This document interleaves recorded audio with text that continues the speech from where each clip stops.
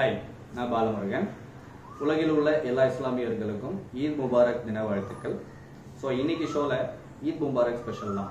எல்லாருக்குமே தெரியும் இந்த ரமதா ரமதான் மாதம் அதாவது இஸ்லாமிய கேலண்டரில் ஒன்பதாவது மாதம் ரமதான் மாதம் இந்த மாதத்தில் ஒரு நோன்பு ஃபாலோ பண்ணுவாங்க. அந்த நோன்பு ஃபாலோ பண்ணுறதுல ஒரு மூணு விஷயத்த அவங்க வந்து கட்டாயம் கடைபிடிக்கிறாங்க. இந்த கடைபிடிக்கிற விஷயத்த எனக்கு ரொம்ப கவர்ந்துருச்சு இந்த ஒரு மூணு விஷயம். ஸோ அதை பற்றி தான் இன்னைக்கு ஷோவில் நம்ம பேச போகிறோம் ஓகேங்களா ஸோ ஷோவில் போகிறதுக்கு முன்னாடி என்னோட சேனலை சப்ஸ்கிரைப் பண்ணாமல் இருந்தீங்கன்னா முதல்ல சப்ஸ்கிரைப் பண்ணிடுங்க. அப்போ தான் நான் போடுற எல்லா வீடியோஸுமே உங்களுக்கு வந்து நோட்டிஃபிகேஷன் வரும். ஓகே ஃபர்ஸ்ட் விஷயம் என்னன்னு பார்த்தீங்கன்னா இந்த நோன்பு இருக்கிற ரமதான் மாதத்தில் காலையில் சூரிய உதயத்திலிருந்து சாயந்தரம் சூரிய அஸ்தமனம் ஆகிற வரைக்கும் எல்லாருமே வந்து எல்லா இஸ்லாமியர்களும் நோன்பு இருக்காங்க. இந்த நோன்பு இருக்கிறதுக்கு காரணம் என்ன?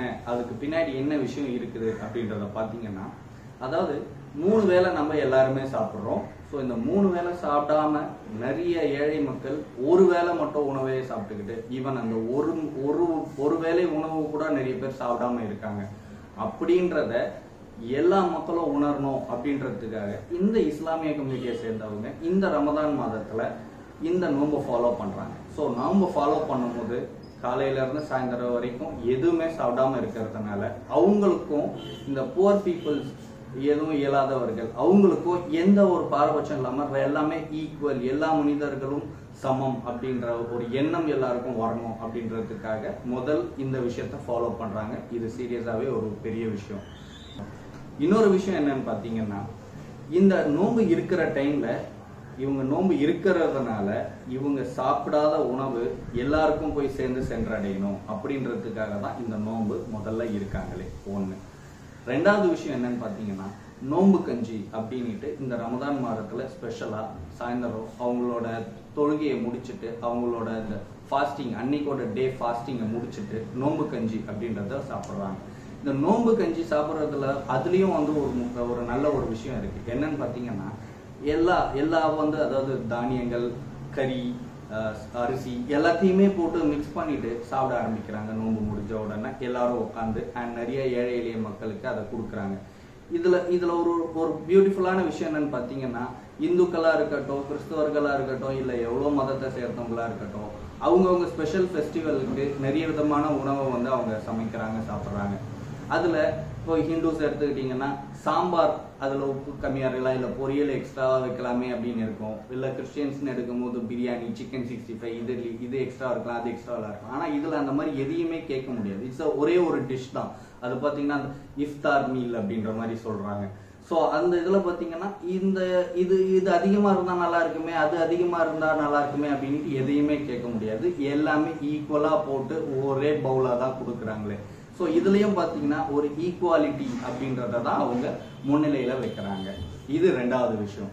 மூணாவது விஷயம் பார்த்தீங்கன்னா ஜகாத் அப்படின்னு சொல்றாங்க. அதாவது இவ் இந்த ரமதான் நோன்பு டைம்ல ஒரு அஞ்சு கடமைகளை அவங்க வந்து மெயினாக ஃபாலோ பண்ணுறாங்க அந்த அஞ்சு கடமைகளில் இந்த ஜகாத் அப்படின்ற கடமை பார்த்தீங்கன்னா ரொம்ப ஒரு பியூட்டிஃபுல்லான விஷயமா இருக்கு. என்னன்னா இந்த ஜகாத் அப்படின்றது மற்றவங்களுக்கு ஹெல்ப் பண்றது டொனேட் பண்றது அப்படின்ற ஒரு விஷயமா அவங்க சொல்றாங்க. ஆனா மு- இதுக்கு முன்னாடி காலத்துல பாத்தீங்கன்னா இந்த ஜகாத் அப்படின்றது ஒரு டாக்ஸா இருக்கு.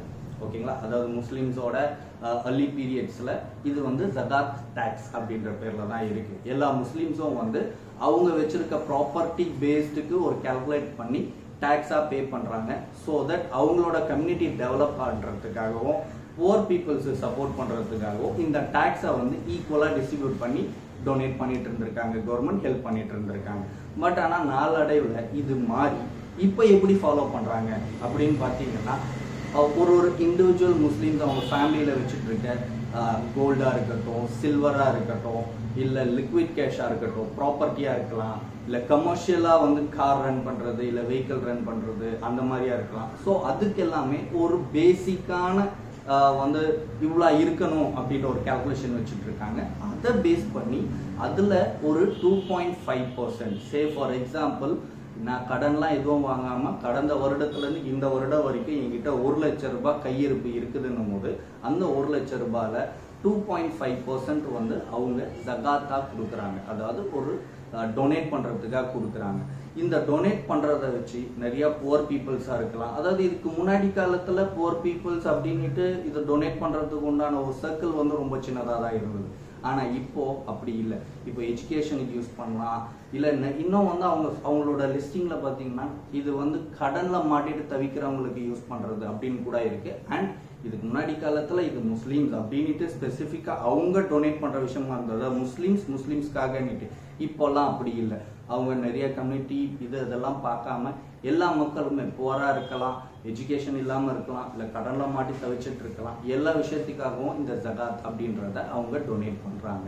அண்ட் லாஸ்ட் வீக் வந்து நேஸ் டெய்லி உங்களுக்கே நல்லா தெரியும். ஃபேஸ்புக்கில் ஒரு பாப்புலர் ஃபிகர் அவர் கூட வந்து சொல்லியிருந்தார். கிட்டத்தட்ட ஆஃப் ட்ரில்லியன் மணி வந்து ஒரு வருஷத்துக்கு இந்த மாதிரி முஸ்லீம் கம்யூனிட்டியிலேருந்து ஜகாத் அப்படின்ற இது மூலியமாக டொனேட் பண்ணுறாங்க அப்படின்ட்டு ஸோ சீரியஸாக இதை கேட்கும்போது ஒரு பெரிய வியப்பாக இருந்தது.